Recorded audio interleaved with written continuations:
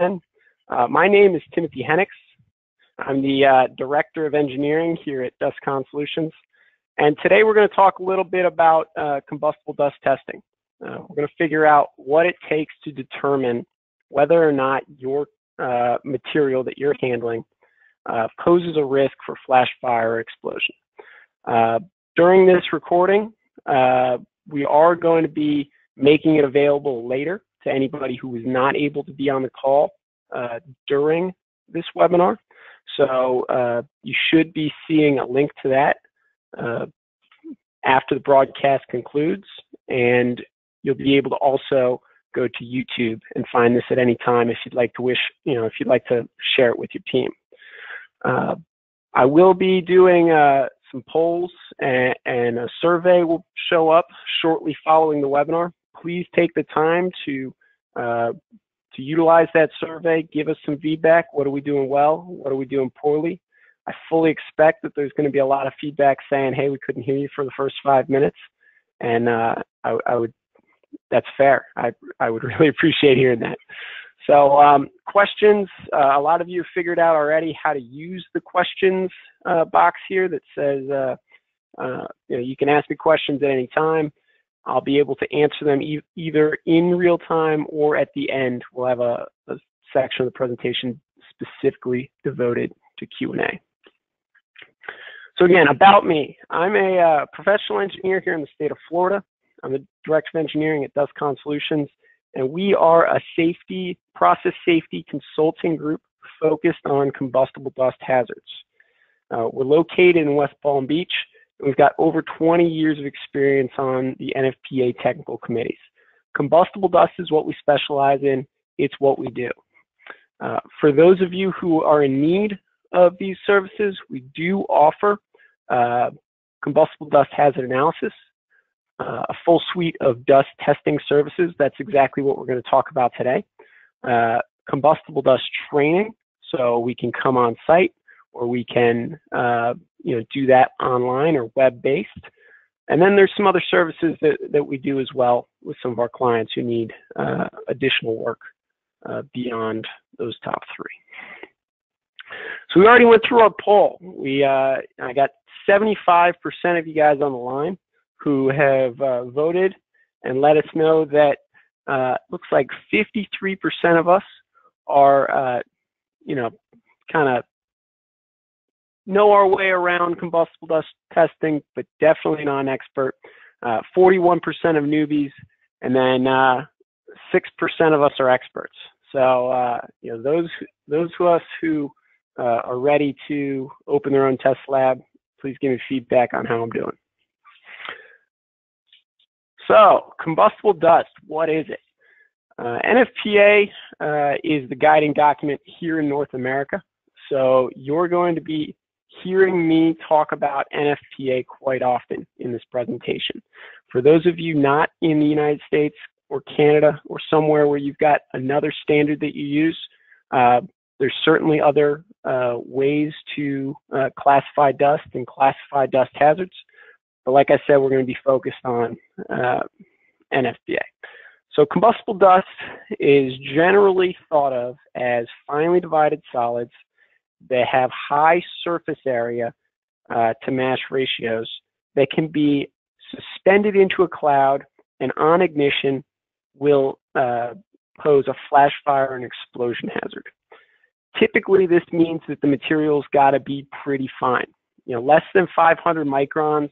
Uh, just to give you guys an idea, that's about table sugar or below in terms of gran, uh, granule size. Particle size and moisture content play a huge role in the combustibility of your material, and we're going to get into that a little bit more uh, as we go through the presentation. I've listed here a uh, you know a couple of different uh, commonly handled combustible dusts. Uh, this is by no means an exhaustive list, but it gives you an idea of just how common it is to find combustible dust used, you know, not only in industrial settings where where we're handling and we and we see these uh, these hazards, but also in our day-to-day lives.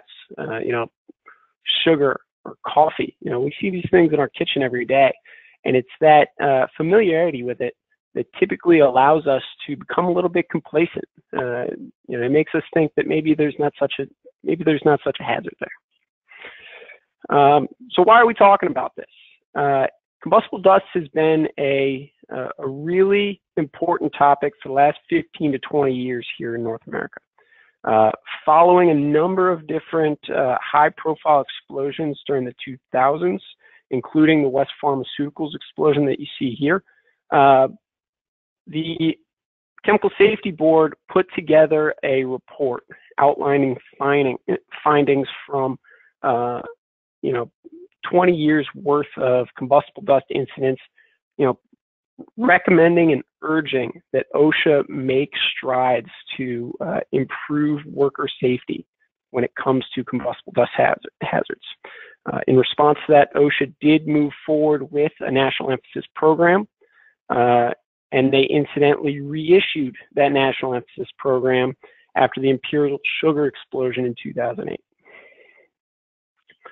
So, there's a number of requirements within NFPA, which is the National Fire Protection's most recent edition of 652. Now, this is the starting point for all combustible dust users who are uh, moving forward with some type of protection plan.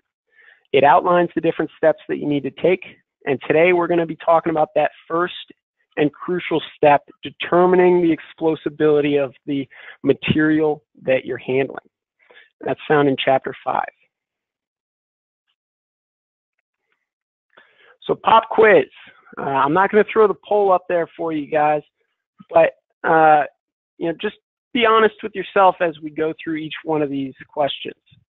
Let me know what you, you know, I, would love to hear in the feedback uh, whether or not you guys got all these right. So first one, who's responsible for determining the, the explosibility of your dust? It's the owner operator of the facility. It's not your insurance company. It's not the group who's it's not it's not the group who's providing you your dust collector. It's not the OSHA inspector. It's your responsibility to make sure that you understand yes or no is your uh, material explosible. Second, if you've got no incidents at your facility in the past, maybe you've been running 50 years and you've never seen your never seen any kind of fire explosion with the material you're handling. Is, can you use that as your basis of safety? Can you say that your material is non-explosible for this reason? False. We definitely can't do that. NFPA 652 specifically tells us we can't do that. And the reason for that is the, the same reason that uh, we wear a seat we wear a seatbelt every day. You know, just because I've not been in an accident on I-95 as I drive to work every day, doesn't mean that it can't happen.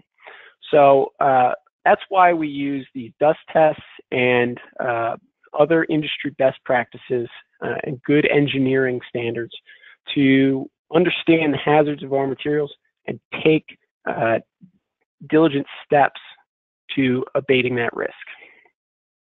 Is it acceptable to assume the materials is explosible without performing dust testing? Actually, yes, it is. Uh, the reason for that is that we're taking a conservative approach. When unknown, we assume the material is combustible and we move forward from there. Uh, finally, documentation of the test results or whatever data it was that we used to determine explosibility needs to be uh, maintained by the facility for the life of the process. That again is true. You know, that documentation is going to help make sure that as you go through any changes in your process in the future, that the reasons for the determination of not using uh, explosion protection or specific uh, en engineering or administrative controls gets passed along uh, as there's turnover at your engineering positions or as your, at, at your safety positions, so on and so forth. So NFPA 652 allows us to make uh, determination of uh, combustibility based on one of two things. Number one, we use industry published values. We can use the tables in the back of NFPA 652. We can use uh, textbooks or uh, vendor data banks. With all that knowledge that we've gained over the years, we can utilize that. Or we can do dust testing on our own. We can go ahead and pack up a sample, send it to a lab, we can get that, uh, that information firsthand. And again, the absence of previous incidents is not going to be able to be used for a basis for saying it's not combustible. That doesn't mean that there's not certain materials that we know from experience are not combustible dust. Limestone, for instance, certainly not a combustible dust. You don't have to have it tested. We have that understanding in the past. But if you're making a specialty chemical or resin that nobody else is making, um, and there probably is not the same kind of uh, industry published data on your your material. Maybe nobody's ever even asked the question or done the test in the first place. Those are the times in which uh, we're going to need to be using this kind of uh, dust testing strategy. So, industry published data sources. Uh, these are three of my favorite. These are the places that I go if uh, DustCon Solutions vendor, uh, you know, our internal database doesn't have the data that I'm looking for. First is NFPA 652.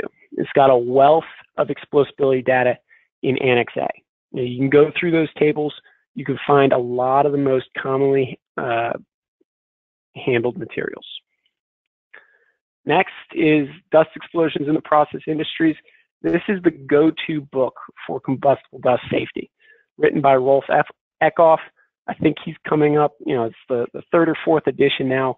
Uh, you know, there's some really good information in there. Again, you know, he's just got tables in the back full of combustible dust explosivity data. And then finally, uh, we call this the German da database or the IFA data database. This is a searchable data bank open to the public that can be used to determine uh, combustibility values.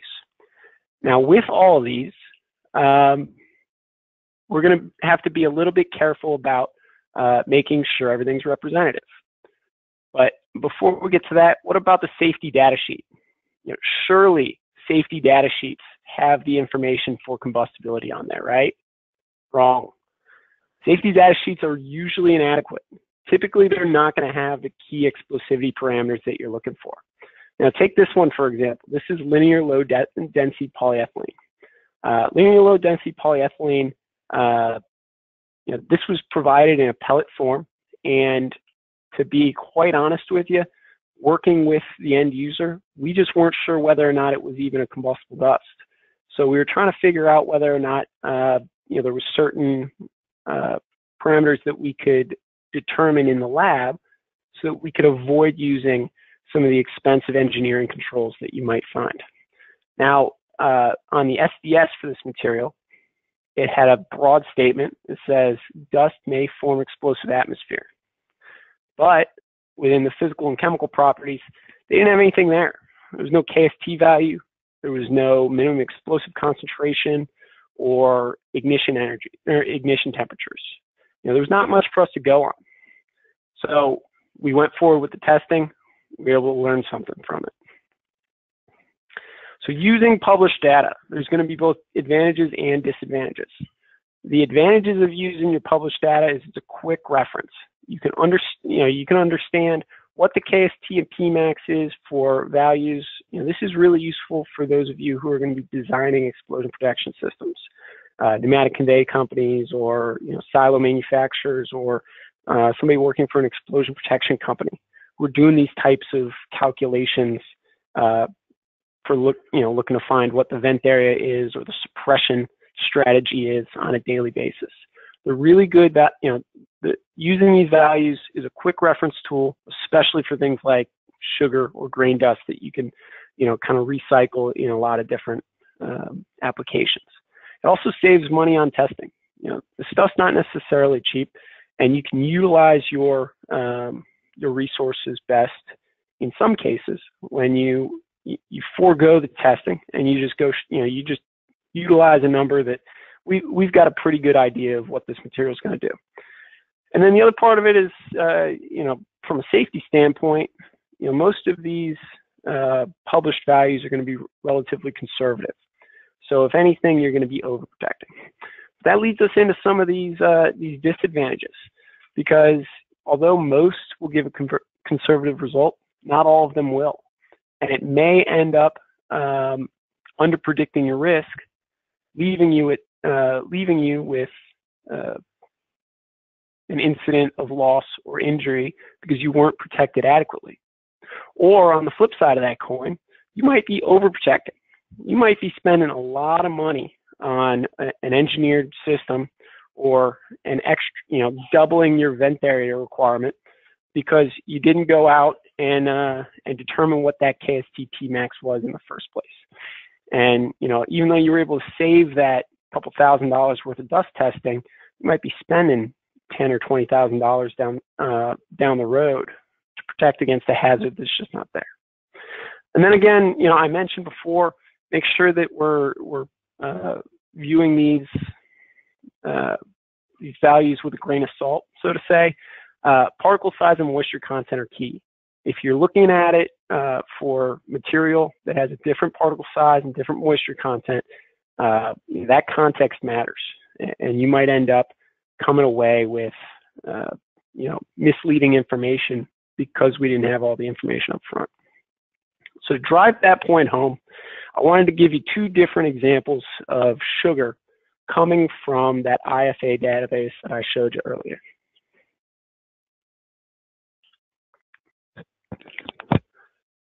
So, moisture content uh, and particle size matter. And what we're going to see is that our risk increases as our particle size decreases. So right here, we've got on our left, sugar that has a median particle size of 290 micron. 290 micron you can think of as like table sugar. It's granulated sugar. We compare that with powdered sugar. Medium value, median value for our particle size is 32 micron. And now there's a huge difference in the way these are going to behave though. I mean, lower explosion, you know, our, our MEC, our minimum explosive concentration, is going to be sitting here at uh, 30 grams per cubic meter versus 500. That's a huge difference. KST value, you might be looking at uh, over 100 versus 16. So as we look at this uh, combustible dust problem, we need to make sure that we are um, evaluating the hazards uh, for the particle size and the moisture content that we're actually using. So now we're going to talk, uh, talk about determining the explosibility in the lab setting. There's a number of different tests that we run. Here's a quick description of the process flow that we typically use when we're working with customers to determine those different uh, those different parameters. So first and foremost, what are we doing in terms of uh, collecting a sample and preparing the sample? When we're collecting our sample, we want to make sure we're taking, again, that keyword, representative samples. You might be sweeping off the floor, but it might be better to sweep off rafters, top of equipment, uh, directly off of the filter bags or your cartridges in the collector. And the reason for that is that as you are uh, as you're collecting that combustible dust sample, we're looking to ensure that we're getting, um, you know, a, a, reasonable distribution of what we're actually going to see airborne in the facility. So once you send it to the lab, you, you secure it in sample storage that's, you know, something that's not going to allow moisture or uh, spillage uh, a lot of times, uh, double zipped, or excuse me, uh, you know, double bagging in uh, you know freezer style plastic bags or uh, using you know plastic jars with sealable lids. Those are really good things to use. You just want to make sure that it's not showing up to our lab, making a mess and and getting all over everything. You ship it to us via UPS or FedEx, similar carrier in a uh, cardboard container, something like that. And then we have the option to either test the material as received or per protocol. As received means that we're going to be uh, we're going to be uh, taking it directly out of the packaging that you send it to us. We're going to test it just like that. Uh, now this is, to some people, saying that it's getting a more realistic result. Uh, there's no drying, there's no particle size reduction. Just as the sample comes in is just as the sample goes out. Uh, now conversely, we can also do it per ASTM protocol. Now this, uh, this refers to uh, the ASTM 1226 protocol and the recommended particle size and moisture content to ensure that we're getting results that will envelop a number of different scenarios, not just that specific time and place that you captured your sample. And what this means that we're going to use either a sieve or a grinder to reduce the particle size down from um, whatever it comes in at to uh, values less than 75 micron. It means that we're going to be drying that sample to less than 5% moisture content. it's going to give us kind of a, a worst case scenario. It gives us you know, a conservative result that can uh, be used for a broad range of applications throughout your facility.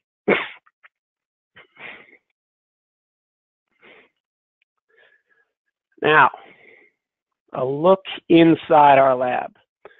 Uh, some of you guys may uh, remember this. This is one of my uh, my favorite shows from about 10 years ago, Mythbusters. And what you're going to see here is these guys are going to attempt to ignite uh, a large amount of coffee creamer. And what's interesting about this is it's not that different than the go no go test that we use in the lab. They're just doing it on a much larger scale, right? So you see here the coffee creamer, they disperse it throughout this, this large barrel, and they've got their flare as their ignition source. And all this material is being pumped in using compressed air, and you see the fireball. It might be the most expensive go no go test that's ever been performed. So that brings us into uh, the first uh, of the lab tests that I'm going to talk about today, the go no go test. So the go no go test is uh, a quick and um, a quick and dirty way for us to determine whether or not the sample can ignite and whether or not we should move forward with other tests. Now, there's a couple of different methods that we can use here. Uh, there's a, like I said, a quick and dirty method, which is the uh, modified Hartmann apparatus. It's based on the European VDI 2263 standard, where we're using a, a Hartmann tube, which is much smaller. It's about one liter, and we're using an electric arc uh, as the ignition source. Now this is going to give us, uh, you know, if we get a go result with this Hartmann tube, you know, we have an awfully good idea that it's going to go in the 20 liter sphere. But uh, because a, uh, NFPA 652 references the ASTM 1226 protocol, we also use the 20 liter sphere uh, to confirm that we have a go result. In order to do this kind of testing, we need about one sample worth of dust from you. When you get your results, it'll look something like this. Uh, I tried to select one that uh, was a little bit interesting here. Uh, you know, we see here that the results from the go no go screening were actually inconclusive uh, from the first time we tried it on the, the modified Hartmann tube. Uh, that inconclusive means that we saw marginal flame propagation. It wasn't a big, bright explosion like you might expect. So what we did, we went back and we uh, attempted to do it in the 20 liter chamber. That 20 liter chamber, we see that we get an explosion over pressure, pressure of 6.1 bar. Now that is a healthy, uh, healthy propagation within the 20 liter sphere. We're pretty darn sure that it's not just an overdriven reaction and we can move forward with confidence that this is a combustible dust. So now that we've got that, uh, that answer for ourselves that we do have a combustible dust that we're working with, how strong is the explosion? And that's where we use the other parts of the ASTM uh, 1226 protocol to determine those values I've referenced a couple of times earlier, KST and Pmax. KS, or, uh, Pmax is the maximum pressure that's generated within the vessel during this testing, and KST is a measure of how quickly it gets there. It's actually the normalized maximum rate of rise of the pressure. And you can see that formula here that we use. It's useful for determining uh, parameters needed for explosion protection systems like venting, isolation, containment, and um, we need about two pounds of this in order to move forward. You see here on the right that we have both the 20 liter sphere and the one cubic meter chamber. You know, those are the two different vessel sizes that are commonly used to perform this test. Uh, the 20 liter sphere, you might say, is the workhorse of uh, combustible dust testing. It's small enough that it gives repeatable uh, results in a fashion that we can, you know, uh, keep moving with the testing. Uh, lab technicians can get in there, they can clean it out quickly, and you can knock out, you know, a couple of dozen runs uh, in a day versus the, the one cubic meter sphere. You need a lot more material, and it takes a lot longer to do. So if we take a look here, this comes directly from the 1226 document. It gives it, you know, it gives you an idea of what's happening during uh, the deflagration testing. This upper left hand uh, graph that we're going to show, you see how after your uh, material is dispersed in the uh, vessel, you've got your normal pressure, and then on ignition, you shoot up to your PX. PX is simply the explosion pressure for that particular trial. You plot those against the number of, you know, against the dust concentration, and the maximum value of that is what we, what you get as Pmax. So, so judging from all these little dots, you can see that in order to just get ourselves a, a KST and a Pmax value, we typically need to run between 10 and 25 um, rounds on the uh, on the 20 liter sphere. Now we can also do this on the one cubic meter, and that gives and that that helps you understand why it's so much more valuable for us from a time perspective to utilize that 20 liter chamber rather. Uh, down here you see the, uh, the, you know, this is the rate of change of our pressure, uh, which you can see corresponds with how quickly it comes up from you know, our normal pressure to PX. All right, so uh, when we're uh, when we're talking about the results of our explosivity testing, you know, a lot of times uh, clients will call and say, "What does it mean?" And it's really just a measure of the consequence of the deflagration. How big is the boom that's associated with this dust? When, you know, if we ever, God forbid, have something happen in the plant, how quickly and how much pressure is going to be generated? These are what we need in order to design explosion venting systems, explosion suppression systems, and explosion containment systems. Now we can classify dust into a number of different categories based on the KST.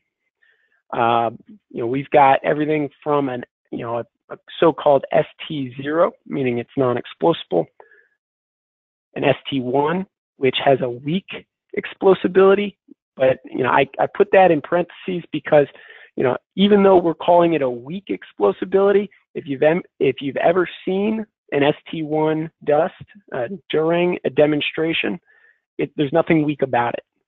But the reason we call it a weak is because ST2 and ST3 dust are much, much stronger and they're much, much more difficult to, uh, to mitigate.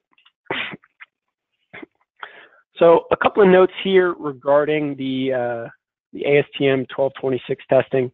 Uh, there's a there's a lot of discussion out there about how valid some of these tests are and when to use the 20 liter versus when to use the one cubic meter. So we're going to start with the ignition energy. Uh, the ignition energy uh, can be varied depending on how the test setup is put in place. Now, uh, ASTM 1226 allows you to use up to 10 kilojoules as your ignition energy, and a lot of labs will do that. However, at DustCon, we recommend using a five kilo, a five kilojoule total uh, ignition energy with two, two and a half kilojoule igniters. Now, the reason we recommend that is we want to make sure that we're not overdriving the reaction. And now what an overdriving reaction is, is we're getting a false positive because we're using so much energy on the front end just from the chemical igniters in the first place that we can trick ourselves into thinking the material is combustible.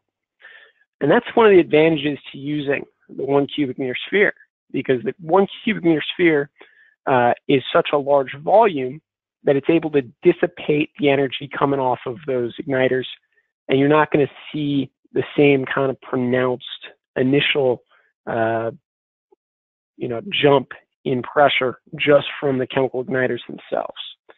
So in situations where a client of ours ends up, uh, you know, thinking that they might have an overdriven reaction, a lot of times we'll advise that it's good to retest the material in a 20 liter sphere. Um, and you can go ahead and do that and see how it comes out. I've seen it both ways. I've seen some where we've got very low KST results below 15 bar meters per second in the in the 20 liter sphere. We move over to the, the one cubic meter and we get the same kind of result. I've seen others where you know we get uh, Pmax values coming out of the 20 liter sphere of three and four bar. We move over to the one cubic meter and we're not getting anything. You know, it, it was obvious it was overdriven.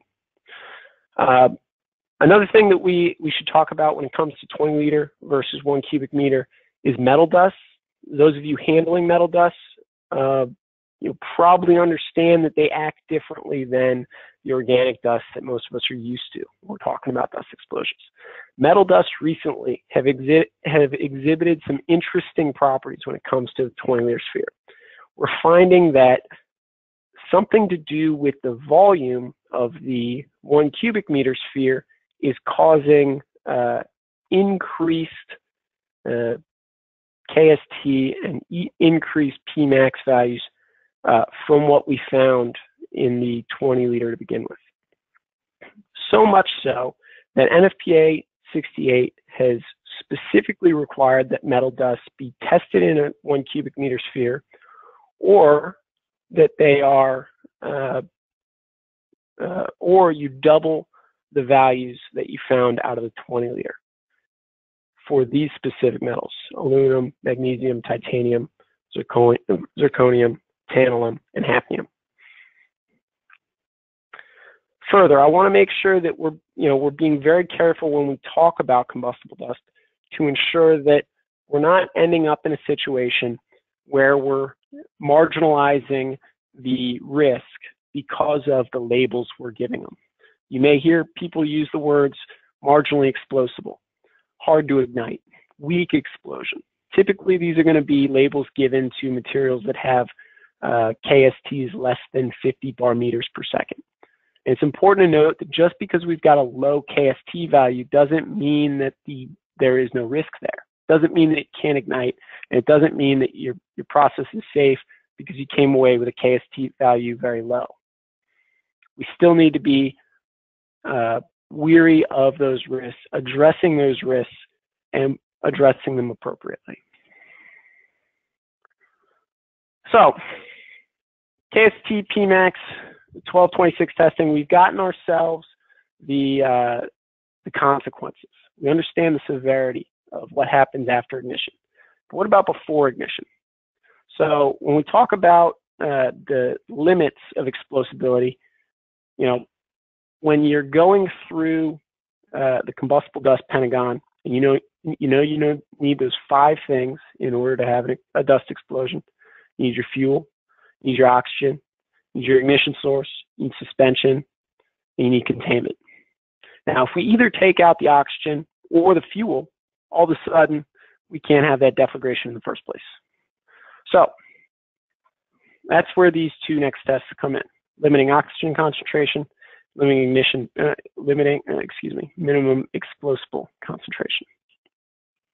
So with the minimum explosible concentration, we're trying to uh, get a value for how much dust needs to be in the air in order to uh, support that deflagration. On the left, on the right-hand side here, you can see that we've got uh, an image from Dr. Eckhoff's book. Uh, the, the, the image here shows that for coal dust, with an MEC of 40 grams per cubic meter, Now, that value doesn't mean a whole lot of whole lot to a lot of people, including myself. So, you know, to understand what it kind of means, we think about, you know, if we're six feet away from a 25 watt, watt light bulb, there needs to be enough dust in the air that we would not be able to see the light. That's pretty tough to do. But there's certain process equipment that uh, that we have in a lot of our plants where that's a normal occurrence. So if we're going to figure out what that is, uh, we utilize the minimum explosive minimum explosive concentration test.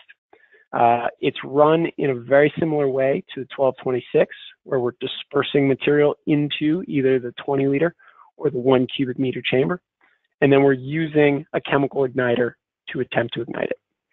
It's really going to be useful if we're attempting to design combustible concentration reduction systems, as shown with NFPA 69 would be the document you go for guidance for guidance there. Um, you know, a lot of users might try to say, "Hey, I've got a dust collector," say, and that dust collector is picking up very, very small amounts of material from the process. So maybe it's possible that we can utilize this MEC value and determine whether or not we even have a combustible dust explosion hazard in the first place. Now, I urge you to be careful when you're doing that because there's other things at play in a uh, dust collector itself. You, know, you may end up with a situation where uh, where the pulse jets or whatever it is that's keeping that material from caking onto the bags uh, could be creating a dust cloud of, of that magnitude at any given time. So whenever you're going ahead attempting to use the minimum explosive concentration number as a basis of safety in your process, make sure you're taking a look at the broad range of conditions that might create such a uh, such condition in your plant. The other one here is limiting oxygen oxygen concentration. So like I said, you know, if we eliminate any one of these five legs on our dust explosion pentagon, we're able to say that we're safe, right? So NFPA 69 uh, is able to use, uh, it shows us a way in which we can utilize uh, this LOC value to determine that we've reduced our oxygen concentration such that we don't, we no longer have a hazard. And that's what you're getting at. That's what you're getting here out of the LOC value. Again, we're using the 20 liter or the one cubic meter chamber, dispersing that material into uh, the volume. But rather than using compressed air, we're using nitrogen or carbon dioxide or some other inert, some other material other than oxygen to uh, keep that oxygen concentration relatively low. And we're going to uh, attempt to ignite the material in that vessel uh, using either a two and a half or a five kilojoule igniter. Staying on the ignitability, um, you know, how easily can we ignite the dust cloud using electrostatic energy? That's where we, we use our MIE, minimum ignition energy. And the minimum ignition energy measures the electrostatic energy required to ignite that cloud, right? You know, it's useful if we're talking about uh, bonding and grounding or other electrostatic protections being put in place uh, within the plant so that we don't ignite the material. Now, uh, the thing about minimum ignition energy is that it can be completed with or without inductance. Inductance uh, is utilized to increase the amount of energy that comes out from a given charge and it's going to increase the, uh, the hazard uh, risk, and it's going to decrease the MIE value that is generated. Oftentimes, you're going to end up with an unrealistic conservative value that's not actually giving you a good understanding of what your material is doing. DustCon's recommending that you uh, do this without inductance. unless there's a specific reason that we think inductance could be coming into play. So if you're if you're moving forward dust testing within a lab, I urge you to ask the question, have the conversation whether or not you're using inductance on your uh, on your MIE testing. So then we come to what do these results mean? Now, you know, we get this result that says our minimum ignition energy uh, with no uh, added inductance is somewhere between 300 and 1,000 millijoules. You know, uh, to a layman like me, millijoules doesn't mean much. So let's get some context. Uh, let's get some context here. Um, if you've ever touched a doorknob after wearing socks on, on, on a rug or a carpet, touch the doorknob, you get a shock, you're probably not creating anything more than about 20, maybe 25 millijoules of energy. So, you know, that little thing, that means that anything less than 30 millijoules is going to start to give us pause and start to make us think about the ways in which we need to protect our personnel, possibly using, you know, static dissipative, dissipative PPE or grounding our personnel with wrist straps. As we get even lower than that, you know, less than 10 millijoules, we're talking about a very high sensitivity of ignition. Not quite as high as some of the flammable vapors that you might come into play with, uh, where you're looking at one to three millijoules. But it's important to know that we're on this lower, when we're on the low end of the MIE spectrum, we start to need to put in place engineering and administrative controls to protect our uh, to protect our employees and protect our assets. Now, on the other side of that coin, we are also very interested on the high level. You know, if we're talking about more than a joule of energy, uh, you know, there's very few situations in which an electrostatic discharge can generate that kind of energy. So it it, it puts into place whether or not we should even be uh, necessarily uh, looking at some of these engineering controls like bonding and grounding. So, you know, the interest for MIE is on both sides, not just from a, you know, we want to know for these easily ignitable materials, but also for the very difficult to ignite materials. And to give you guys some context around combustible dust, uh, you know, specialty chemicals are going to be the ones that you probably find with the lowest MIE values. I know that, uh, you know, a very common one in the uh, compounding industry would be stearates, and those are going to usually range between about 5 and 20 millijoules for your MIE. Uh, for something a little bit more common to the agricultural industry, sugar, uh, powdered sugar, you're going to be looking at a very low MIE, something like 20 to 30 range. But if you get it into the granular form, you might be looking at something as you know as high as 300. Um, and you, you compare that to like wheat flour, which is going to give you an MIE probably above a thousand millijoules. So just to give you guys an idea of where some common dust lay, um, it, it is very helpful information uh, when you're going through your dust hazard analysis to understand what the possibility of ignition is. It helps you understand what kind of electrical protections you need to put in place and whether or not bonding and grounding is uh, needed for a particular application. Ignitability. Uh, we're still looking at ignitability when it comes to temperature. So there's two different um, applications which temperature could ignite your dust. On one hand, it could ignite it within the cloud form, and that's where we use ASTM 1491. It's important for applications like dryers, where you've got a dust cloud already formed and you're using like a hot, you know, hot air bringing it in. You want to know what that limit is. So that you're not, you know, maybe you think that you might be able to save some time on production, increase productivity. All we got to do is just, you know, crank up the temperature a little bit uh, on the incoming gas feed. That could have real consequences for you if you don't know this value and you're not utilizing it as a as a basis for safety. Uh, the other the other situation is maybe you've got a layer of your dust. Uh, maybe it's built up over a motor. That motor overheats. and you start to cause an initial fire.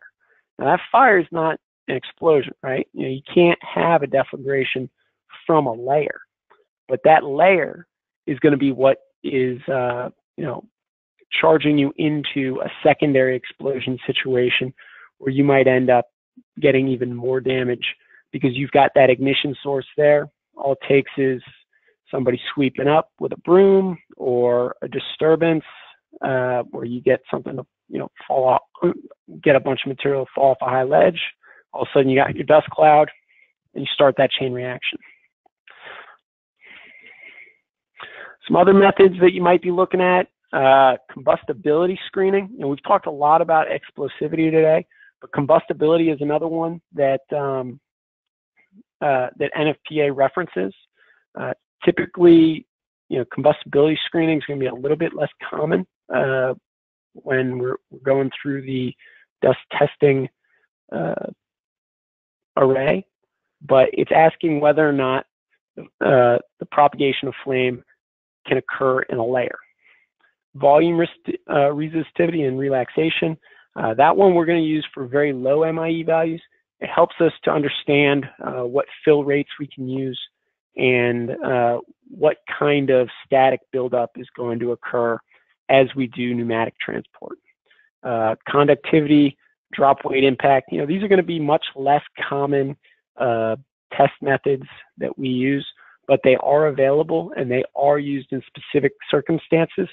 So if you're having a DHA performed and your consultant mentions these, uh, you should know that they're available and it's something that you can have performed. So just to recap, uh, you know, we went over uh, how to collect your dust sample. We talked about the preparation, the fact that you can either go uh, as received or per protocol.